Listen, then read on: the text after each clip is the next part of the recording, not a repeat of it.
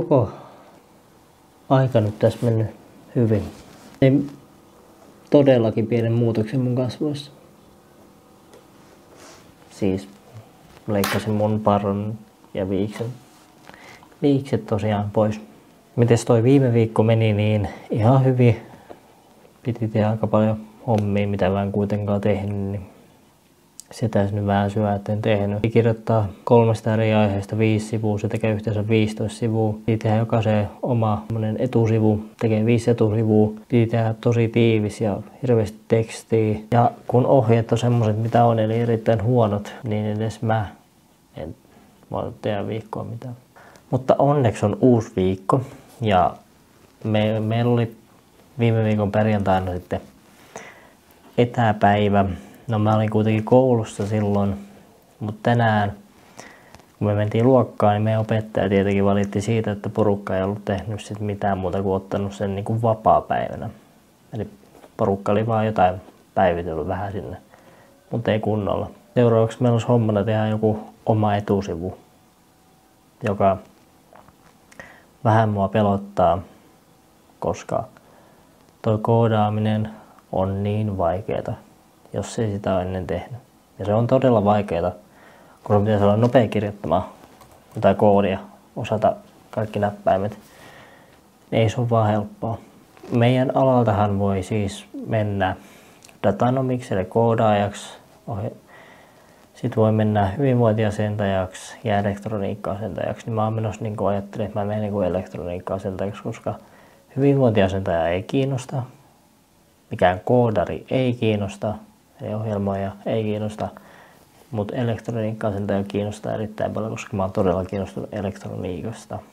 Tuossa tota, myös viime viikolla julkaisin kolmannen kanavan, mis, mihin tulee podcasteja siis. Ja mä en oikeastaan ollut siitä ensimmäisestä jaksosta ollenkaan tyytyväinen. Mä olin ihan hirvittävän stressaantunut ja ei, se ei luistanut yhtään se puhuminen. Eikä mulla hirveästi puhuminen muutenkaan luista. Ja näitä mun juttuja aika työssä ehkä kuunnella. Mun piti tänä aamulla aloittaa tämä My Week, mutta se venyy, venyy vähän tosiaan. Ollaan nyt jo tässä illassa ja mä käyn suihkussa ja sitten testaan pari juttua ja laittelen parit jutut.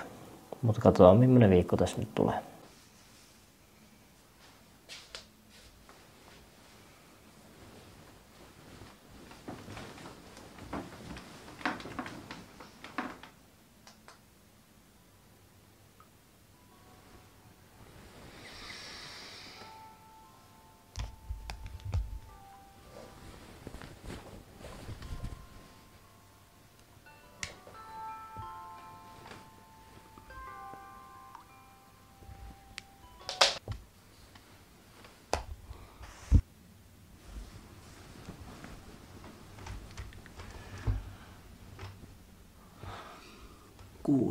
Puolen tunnin yöunet.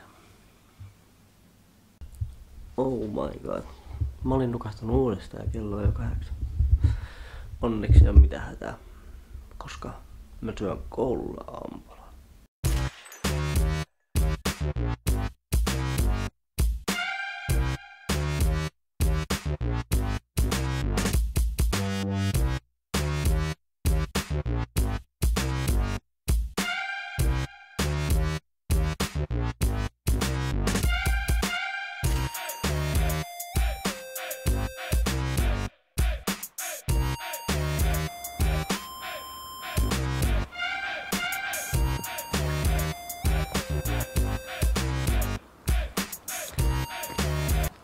Tänään mä testaan pitkän ajan jälkeen mun ihanaa toista kaveria eli GoProta. Mä testasin tätä eilen illalla vähän sen tein jonkun jostain vanhasta klipistä jonkun pienen pätkän ja mun editointiohjelmassa on semmonen GoPro juttu, mutta mä en tiedä mitä se editointiohjelma on ajatellut, kun se on tehnyt sen, koska se ei niinku toimi. Se tiedostomuoto on joku ihan muu. Eli se ei näytä sitä, mutta se toistaa ne äänet kyllä. Mä en oo sen takia käyttänyt GoProta, koska kun mä oon renderöinyt niitä videoita, niin ne ei ole ollut hirveän terävälaatuisia. No okei, okay, mulla on 7 White, jossa ei olekaan hirveän terävälaatuinen kamera. Ja nyt on tullut 8 ja on tullut 9. Kasissa ollaan tehty hyvät parannukset, kaikki noin monttikiinnitteet ja mikkipaikat ja hypersmooth vakauttimet sun muut. Ysissä parannettiin vielä sitä vakautusta, otettiin 5K käyttöön ja sitten semmonen isompi näyttö niin kuin tähän viereen, että se on todellakin isompi ja se on paljon isompi kuin tää.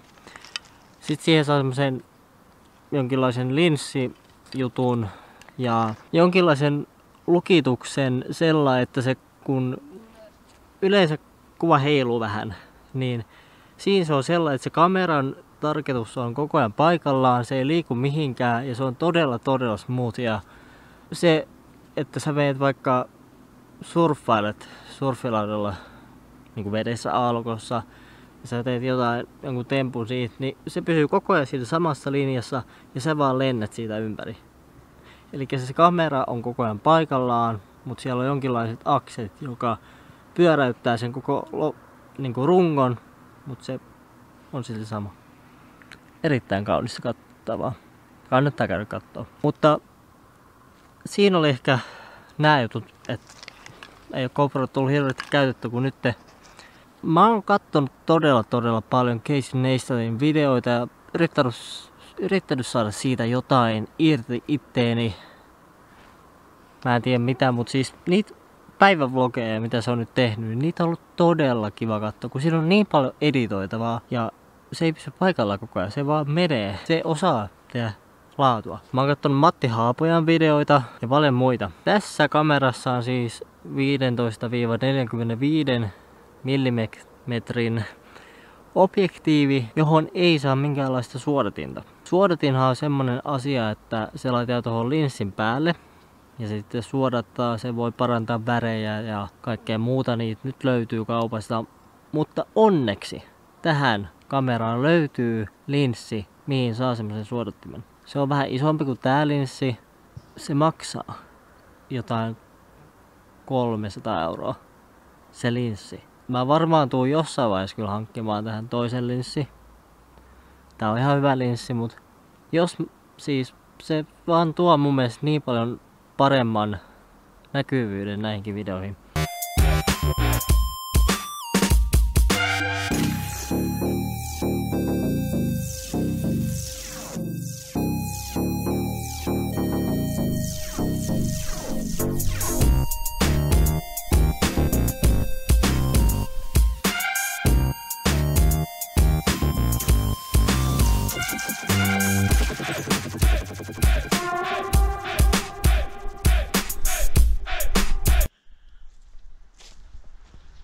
Tää mun GoPro on jo... Olisiko tää jo vuoden vanha? Vai pari? Vuoden. Mä muistan, että sain tän viime jouluna.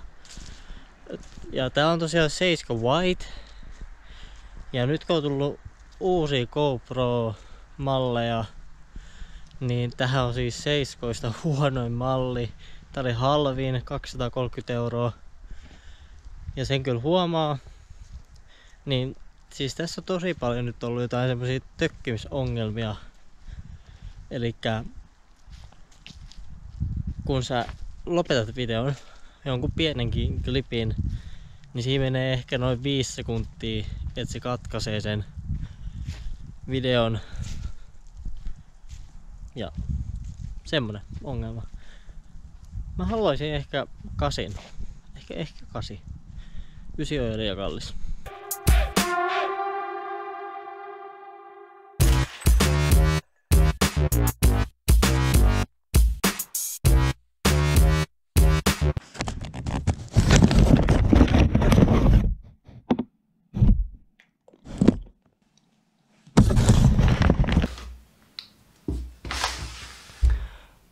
GoPro on vaikka mihin kätevä aivan kaikkea. Se on aktion kamera, joten siis voi tehdä mitä vaan. Mm. GoPro on kätevyydet tulee esiin sen pieneydessä siis. Tää on todella todella pieni kamera, kevyt. Hmm. Tässä on laajakulman linssi, joka helpottaa monella tavalla. Öö, tässä ei ole laajakulmalinssiä, joten jos tässä olisi laajakulmalinssi, niin te näkisitte vielä tuonemmas ja tuonemmas. Eli paljon laajemmin. Ja GoPro pystyy siihen. Kameroihin saa erilaisia objektiiveja. On laajakulma-objektiivi myöskin. Myöskin mun kameralle on laajakulma-objektiivi. GoPro 7 ainut huono puoli on mikrofonin paikka, joka on täällä alhaalla. Ja kun tässä on kotelo, niin se kotelon ääni, kun se on muovia, niin se kuuluu tänne. Ja se kuuluu video. Jos nyt totta puhutaan, niin tää on kyllä vähän saanut hitti. Se olisi aika paljonkin. Öö, silloin kun tää kansi, mikä tässä on, niin aukesi ja tää joutui veden alle, niin mä luulin, että meni rikki, mutta ei mennyt rikki. Eli GoPro on myös huomannut sen, että jos tää kansi puuttuu tästä tai tänne menee vettä, niin kamera ei mene rikki. Eli sen elementit täällä sisäpuolella on vielä suojattu. Se tarkoittaa sitä, että tää vaan niin kuin, niin kuin pimenee toi kamera itse asiassa. Kamera pimenee. Että sillä ei voi niinku kuvata. Että sen pitää antaa sitten kuivua.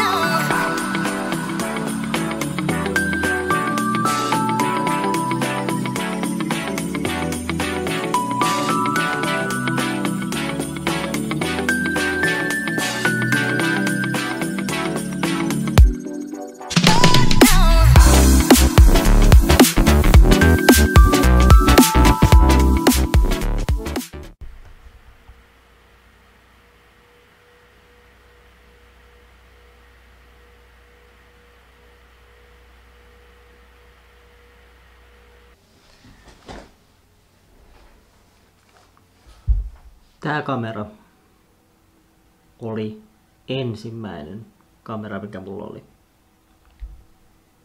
Canon PowerShot SX730HS. Tää on vielä digikamera. Eilen me puhuttiin GoProsta. Tänään mä haluan vielä palata tähän mun ensimmäiseen kameraan. Canon PowerShot.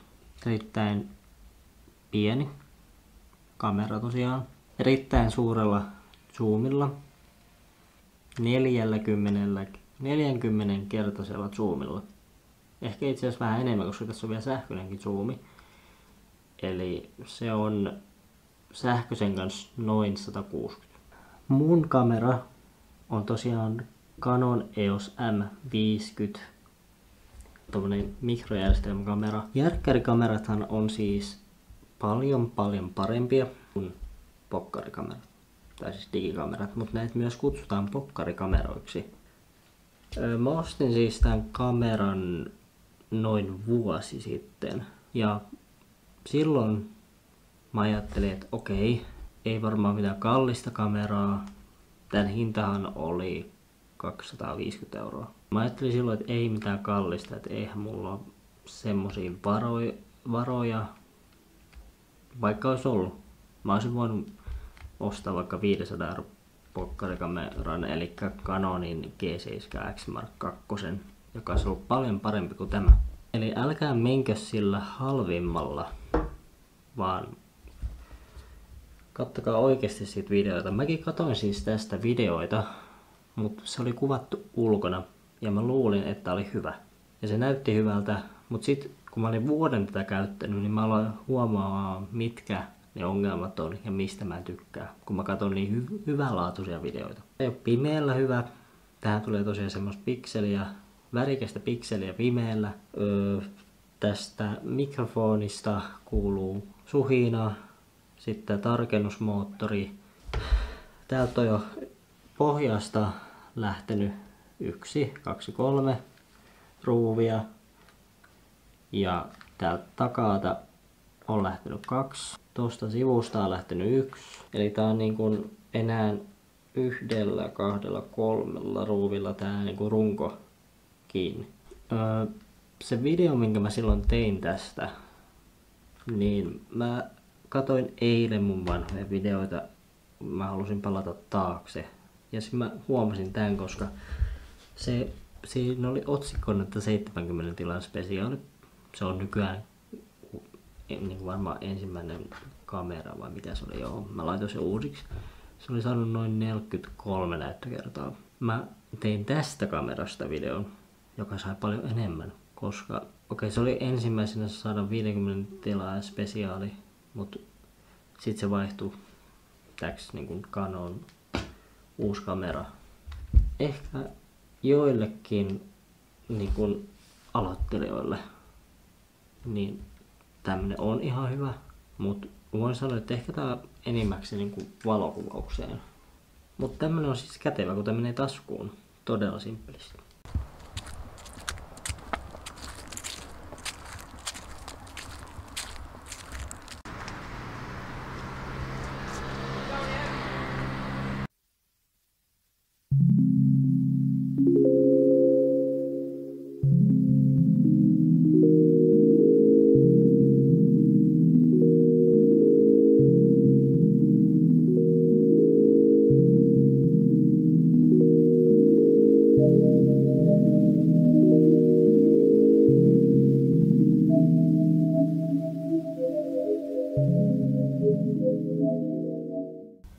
Että mikä koulupäivä, erittäin kiva, ei yhtään mitään.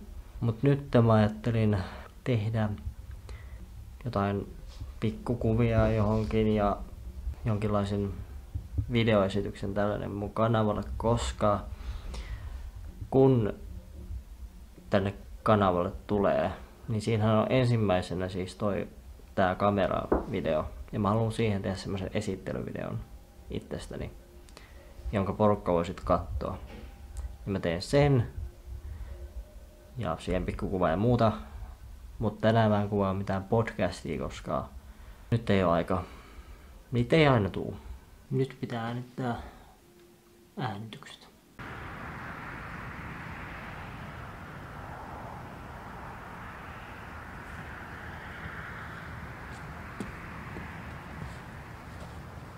Mä huomasin yhden asian, mitä mä oon tehnyt tällä MyWeekilla erityisen paljon.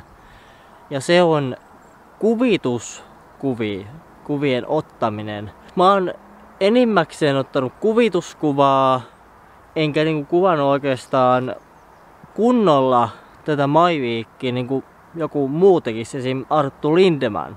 Eli mä en oo niin kuin kuvannut mitä mä teen, vaan mä oon ottanut niin kuvituskuvana ne Mä en oo kertonut mun päivistä hirveästi, enkä mitenkään muutenkaan, mutta nytten mä kerron. Mä olen tällä hetkellä menossa tonne Linnavuorelle. Äsken onnistuin ottamaan tommosen ö, etsin asian pois päältä. Eli tuolla on kameran takana se silmäetsin. Eli kun siellä laittaa silmän, niin se sammuttaa näytön. Ja se on huono homma, jos sen peittää joku niin sitten toi näyttö sammuu ja siitä ei näe sit, vaikka että onko fokus hyvä. Mutta mä sain sen pois päältä ja mä oon siitä erittäin kiitollinen. Myöskin mulla ei ole kasvojen tarkennusta päällä, vaan mulla on tommonen keskitin palikka päällä. Eli se on niinku keskellä ja sitten se tarkentaa siitä. Mun, mulla ei tule enää niitä ongelmia, mun pitää peittää kädellä joku asia, jos mä haluan näyttää, vaan se osaa tarkentaa siihen kohteeseen, mikä siinä keskellä on. Tämä lehti, mikä on mun kädessä. Te näette sen. Mä tuun lähelle. Te näette sen silti. Ja hyvässä fokuksessa. Jonka jälkeen saman tien fokussaa muhun, koska sen edessä ei ole lehtiä. Mihin se voisi fokussaa.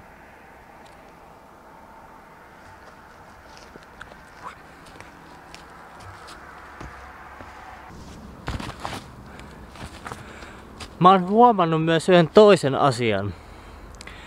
Mä en oo ulkoillut tällä viikolla hirveittävästi niin kuin siihen aikatauluun, kun mä oon halunnut.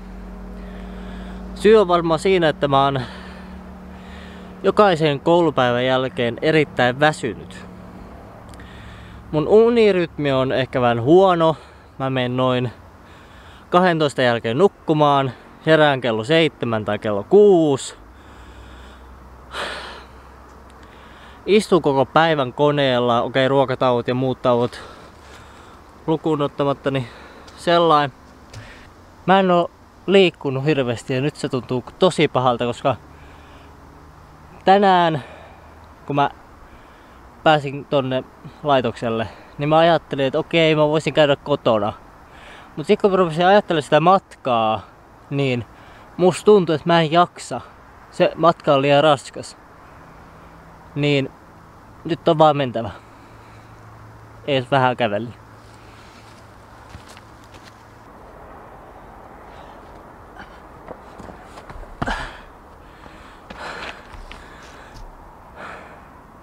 Tää reitti on ylämäkeä ja tässä kun juoksee, niin varmasti hengästyy.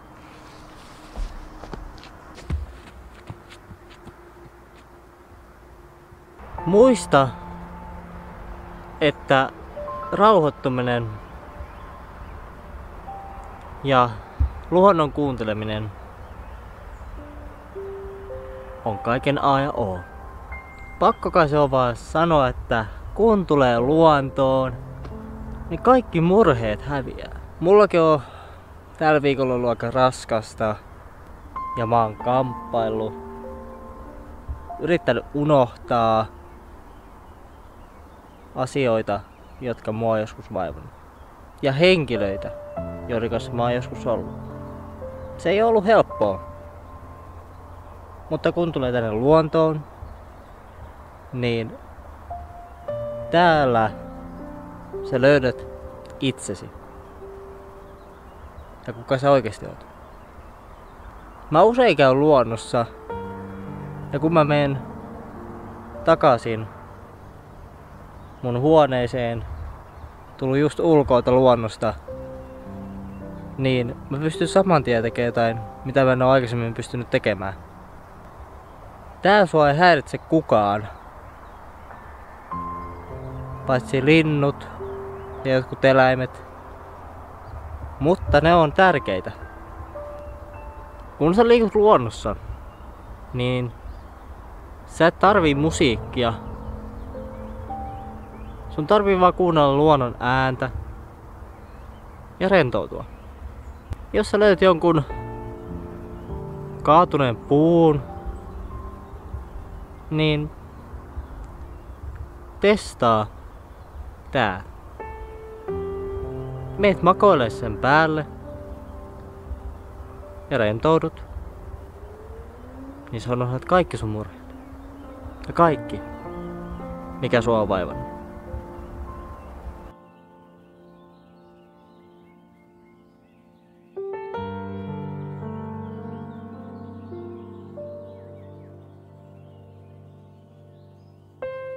Ja kun sä nouset, niin nouse rauhallisesti. Rennosti. Katso suoraan aurinkoon. Hengitä syvään. ja kävele pois.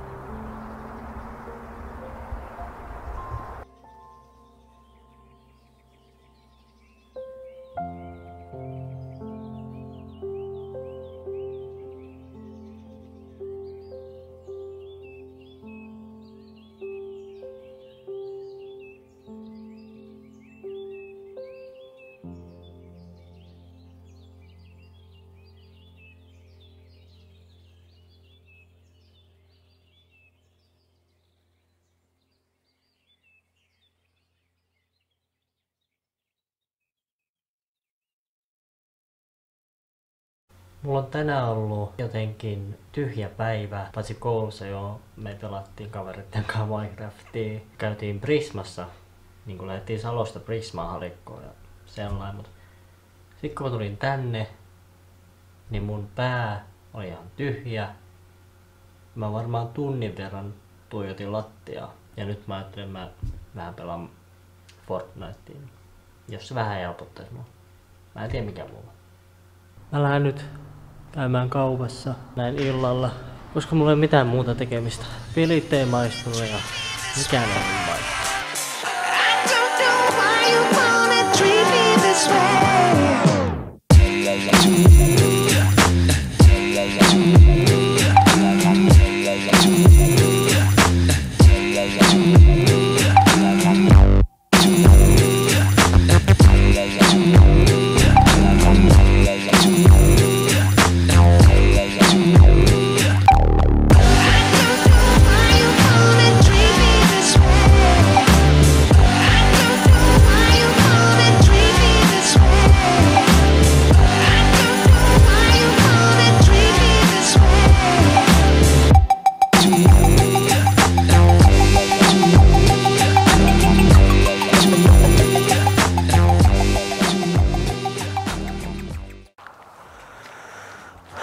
No niin, siellä on nyt kaikki videot otettu.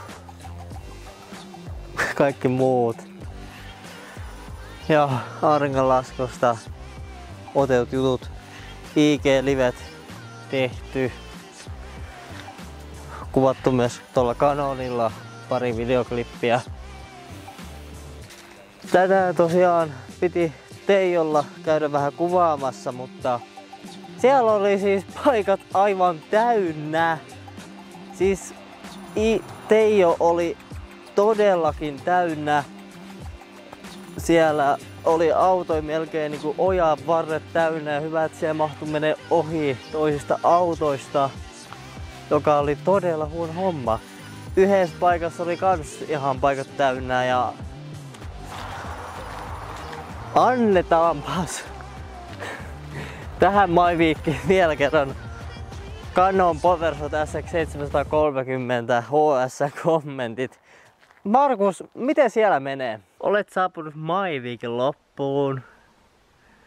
Eli lauantai oli päätöspäivä. Tällä kertaa valitettavasti sunnuntailla ei ole mitään ihmeellistä ja tai kummallista. Tää oli vähän vaisu My Week ja oli vähän kaikkea muutakin juttua tässä nyt mietittävänä. Ja en saanut kuvattua kunnolla nyt tämmöistä maiviikkiä ehkä mitä mä halunnut. Mä ajattelin, että olisi ollut semmonen hyvä. Tässä on se yksi hyvä kohta, se on se rauhoittumiskohta, minkä mä editoin. Ja se oli hyvä. Mutta nyt vaan odotellaan, että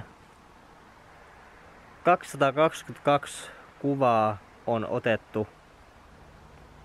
Kello on vasta puoli seitsemän. Joltain on tullut uusi video. Hmm. Nenäkutit. Okei, okay, ei, ei mitään kiinnostavaa. Mutta joo,